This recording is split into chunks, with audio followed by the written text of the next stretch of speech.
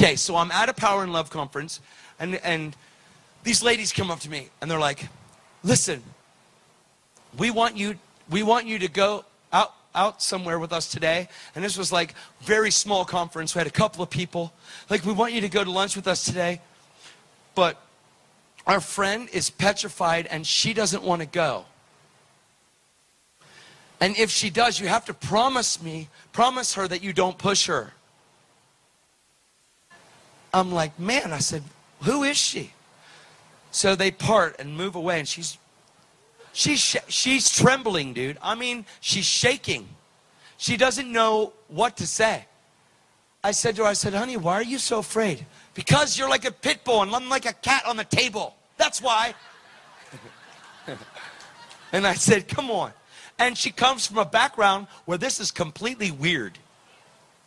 Like God does not flow through people. He does not heal people. He is not, and, and she's taught that this is like not good. And I'm like, man. I said, honey, I said, I would love to go out. And I promise I won't push you. But if, but if I go out, these two can't go, only you. Because I need to talk to you. And you don't have to do any, I promise you don't have to do anything. Even if we just go and talk, that's fine. Because I need to talk to her. I need to pour who God says she is into her. So she's like, I am not going with you. I said, honey, we don't even have to go out of the parking lot. Okay? She's like, okay, but you promised me that you won't push me. I said, I promise I won't push you. And so right away, God speaks to me and he says, now that we had different places. We were in a town that every town was 20 miles away. So we're in the middle of nowhere.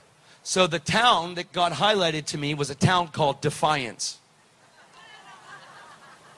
So I said, honey, I said, I know this is going to sound weird. Now, this is after we get out of the building and we walk into the car. I said, we need to go to Defiance. She goes, I am not going to Defiance. And you think there's a lot in it with the name Defiance and stuff. Maybe there could be. I didn't see that. All I knew was that it was highlighted. So she said, I am not going there. So we ended up going and sitting in the car, and I'm talking to her. She's been through a lot of junk, man. A lot of stuff. She's been in church her whole life. She grew up a certain denomination that doesn't believe in any of this, but also that she grew up in a denomination that she didn't even really know what she believed, except she knew that one day, hopefully, she'd make it to heaven. If she was a good person. So I said to her, I said, honey, I said, what, why don't we go towards that town? So she's like, I am not going towards that town. But she did. So we drove to a parking lot that was a mall parking lot. I said, Look, there's a mall. It's a big parking lot. It's almost empty. Let's just go sit at the farthest part of the parking lot.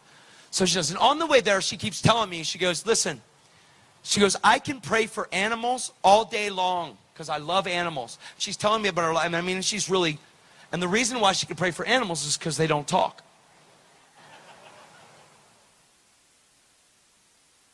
A lot of people don't mind praying for animals is because there's no dispute there. They don't have to deal with people. And people have elevated a love for animals above a love for people because they got hurt by people. And they have ministries to animals because they don't love people. That's demonic. Not loving people is demonic. Not loving animals. I mean, I love animals too. I got dogs. I love them.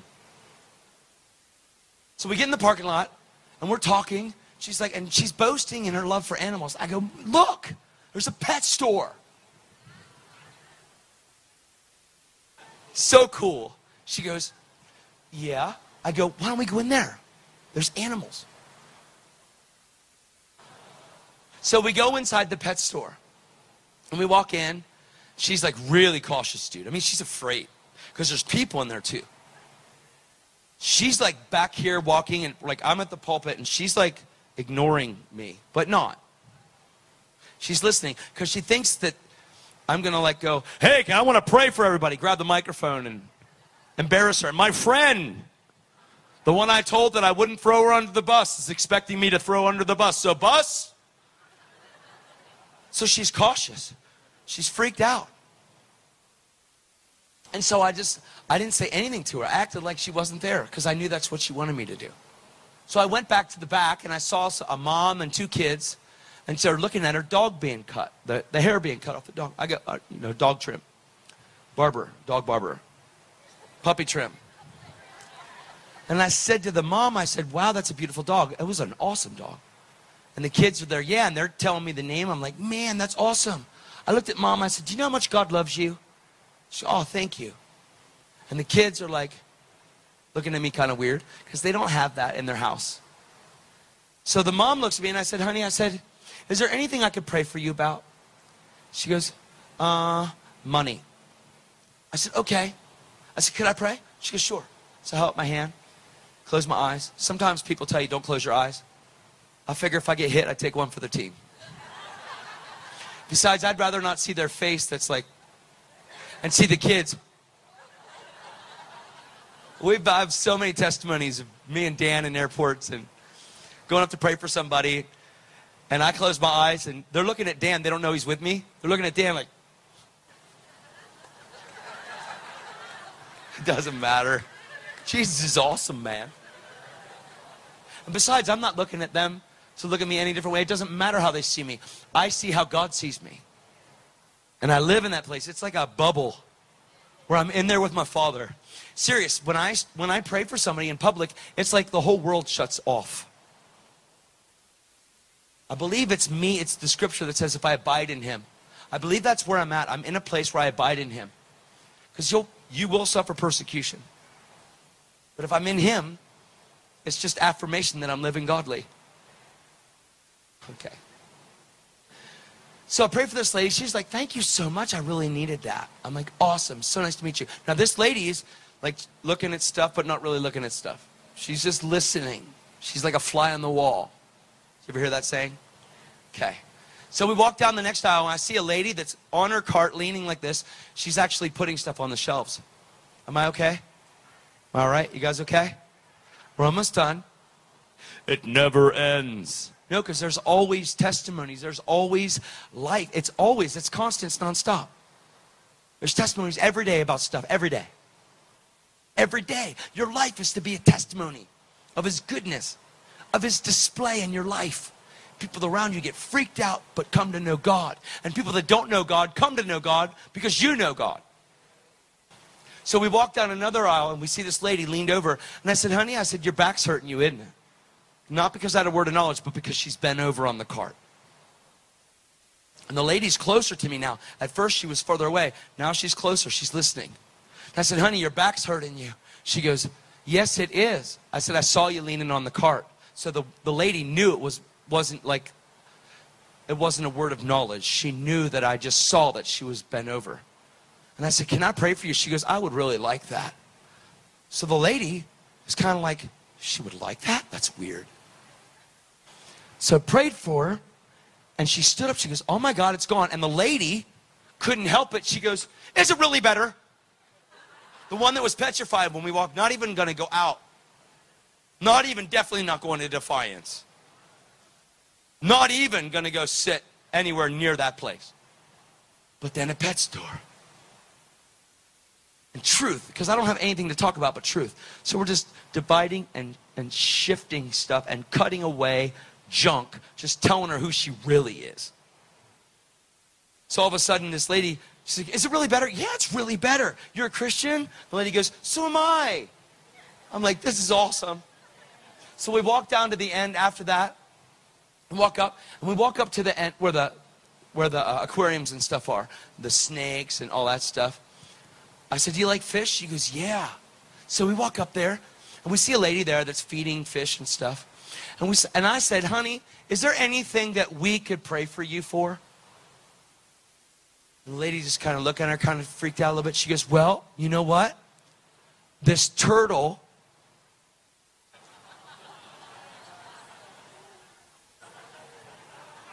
is really sick and has a respiratory.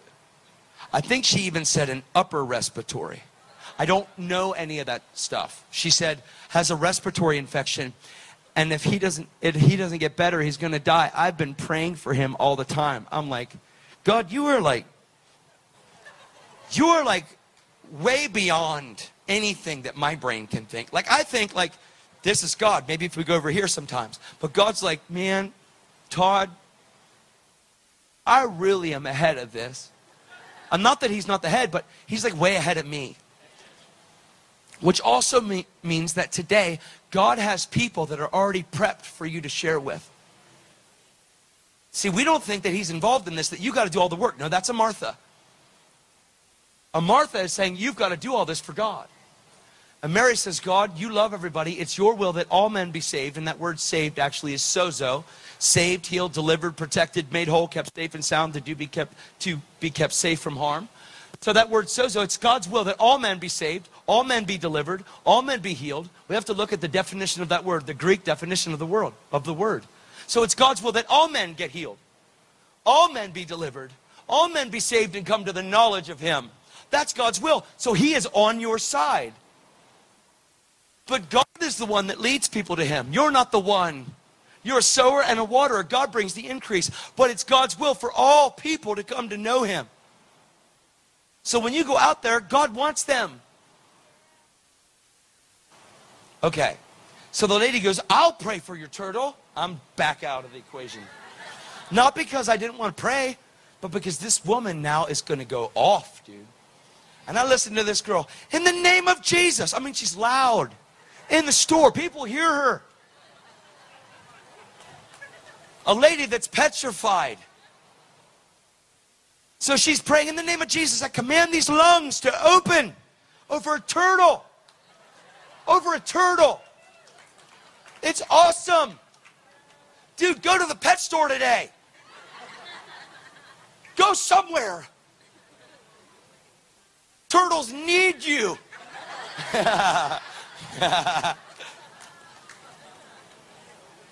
this is fun. See, it's not so bad. It's not so hard. It's not.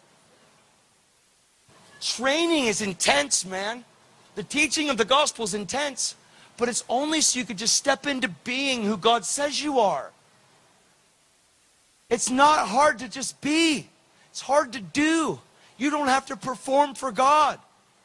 But you can't afford to have a basket on your head and be afraid. Man, this is why I talk about the finished work so much, because it's the perfect love of God that casts out all fear. It's His perfect love for you, and it's all through Christ and Him crucified. But when this thing takes place in your heart and in your life, it's not about trying to sin and get away with it. Man, that's tragedy. When something happens, your heart convicts you. You immediately confess that to God. That was wrong, God. This is who you created me to be. Because that stuff's not fun anyway. Condemnation just is resident inside of people. They don't know how to get rid of it. But in Christ, there is no condemnation for those of you that live according to the Spirit and not according to the flesh. Your flesh will no longer have a voice in your life if your relationship with God's Spirit is the strength of your walk. And when the flesh, and when the flesh tries to whisper something, the strength of spirit. See, Jesus told the disciples that your spirit is willing, but your flesh is weak. He was telling them because they were not born again. He told them, guys, don't, don't fear. I will not leave you as an orphan.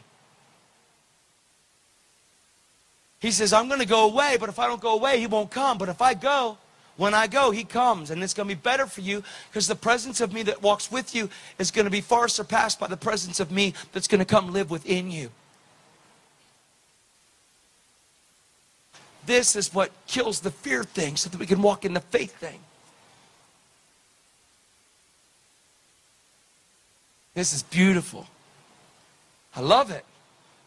So this lady's praying for the turtle. They're going off, both of them, just ah, taking turns, man, interceding for the turtle. And it, it was awesome. I looked at her and I said, That was awesome. She goes, Yeah, amen. It was great. I was, I'm not making fun of her. I'm just telling you what God did.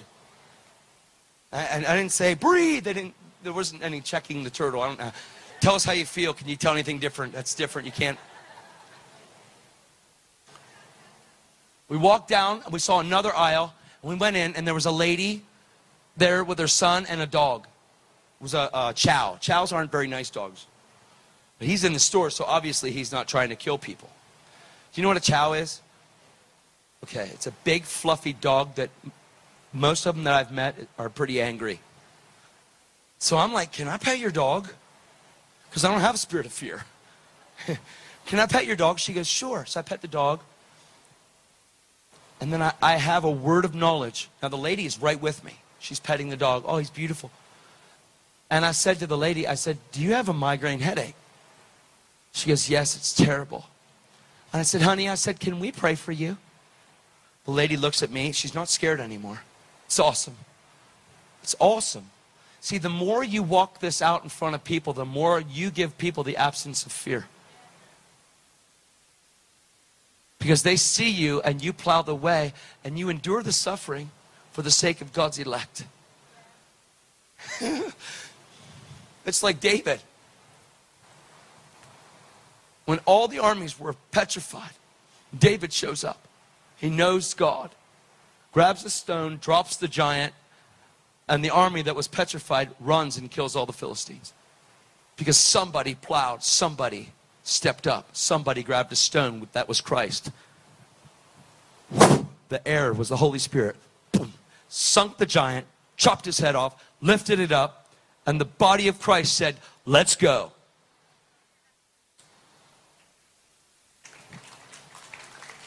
It's really good.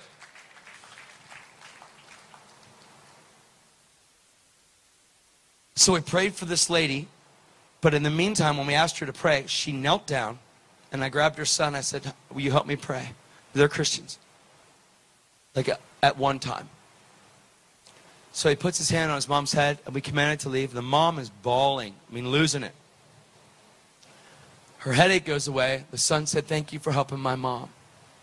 Oh, it was amazing, like an eight year old kid. So the lady is so weeping, this lady that was with me, so weeping and crying. She hugs the mom, says, Thank God. Thank God we came in here today, huh? It's crazy. It's amazing, man. So we go to walk out, and that lady's getting her stuff at the counter. She's paying for all of her stuff, the lady that we just prayed for. And I said, You know, let's do something. Someone over, and I said, Honey, I said, Will you let me do this?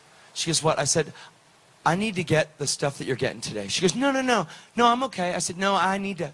We, we would like to pay for your, for your dog stuff today that you're getting because it was a whole bunch of stuff. She goes, Why? I said, Because God loves you and He gave. God so loved the world that He gave. So now that I know Him, I need to represent Him the whole way. She's like, Wow, okay, the whole way. Yeah, God's giving. God loves a cheerful giver. I'm in love, so I want to give. That's why I give. That's why Christians give. Shouldn't be like pulling teeth. I'm not talking about in here, I'm talking about out there. Bless somebody, man. Buy somebody a soda. Buy their dinner. Buy their lunch. Man, dare to tip. Change the culture of your country. Tip your people. They freak out. They don't even know what you're doing. Why are you doing this? Because Jesus loves you. Yeah, but why? Why are you giving me money? Because God loves you so much. I don't go out to eat unless I can tip the amount of my bill. We're like, whoa, what do we do? Don't go out to eat that much. You'll change the culture of your country. If every Christian that confessed Christ would become radically generous, you would rock your whole country.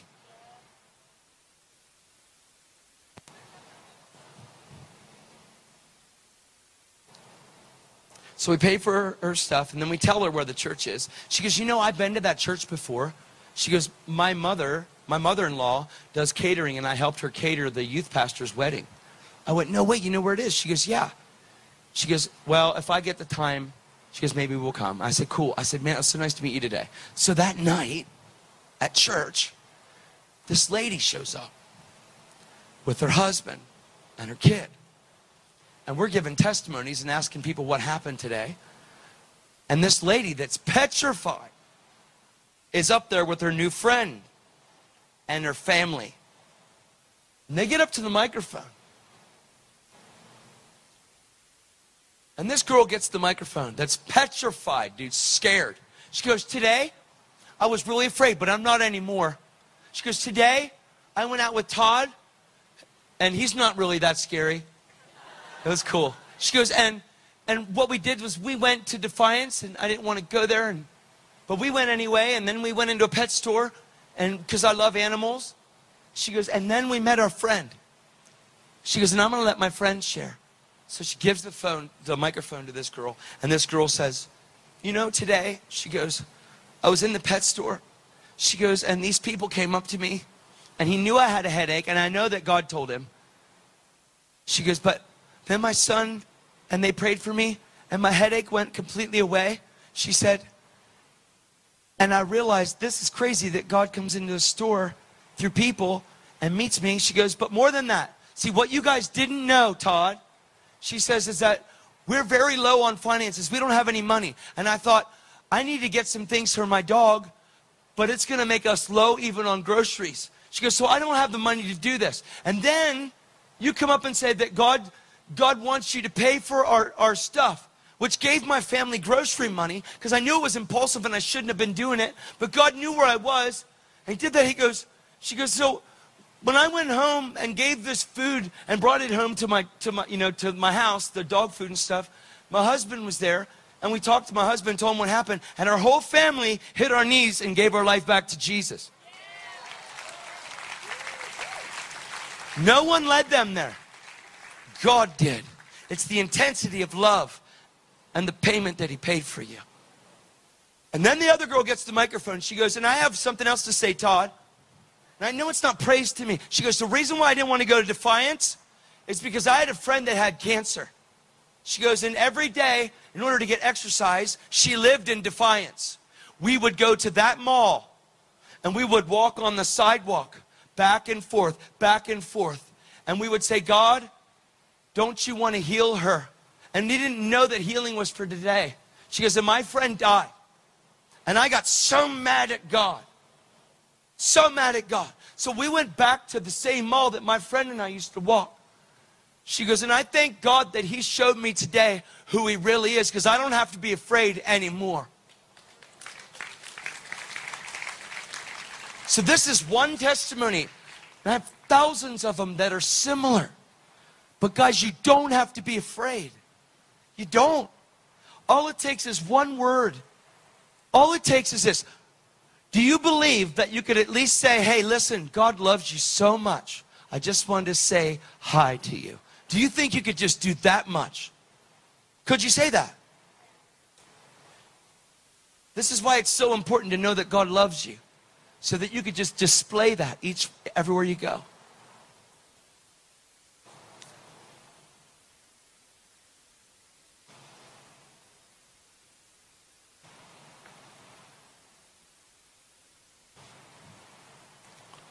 We can do this because we've become this. We can do this because we've become this. There is no pressure. It's not about one upping people on testimonies.